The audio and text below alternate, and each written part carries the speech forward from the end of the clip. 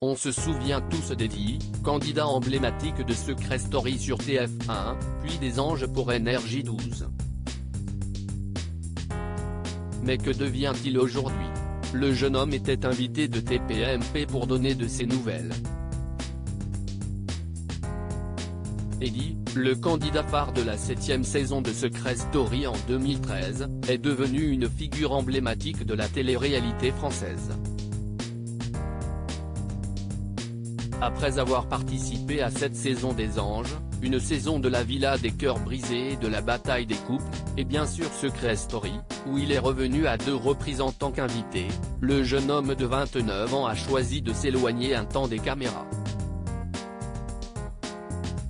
Aujourd'hui, il mène une vie beaucoup plus tranquille.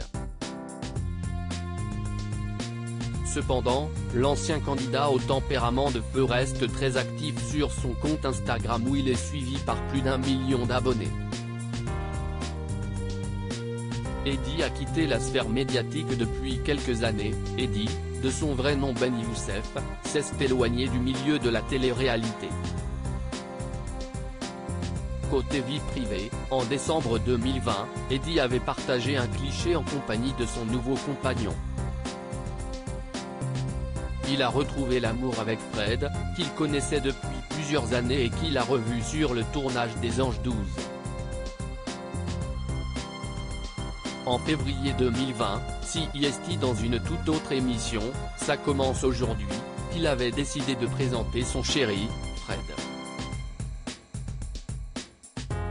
Mais quelques temps plus tard, Fred précisait avoir mis un terme à sa relation avec le meilleur ami d'Anaïs Camisuli.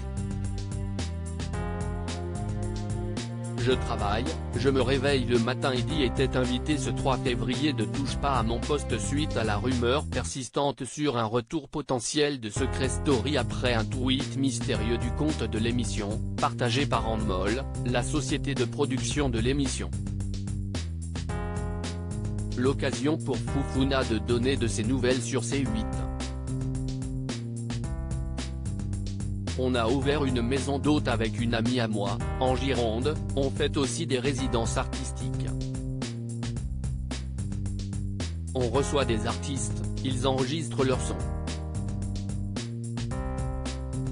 Point, on a pris une maison ensemble, à côté de Pomerol,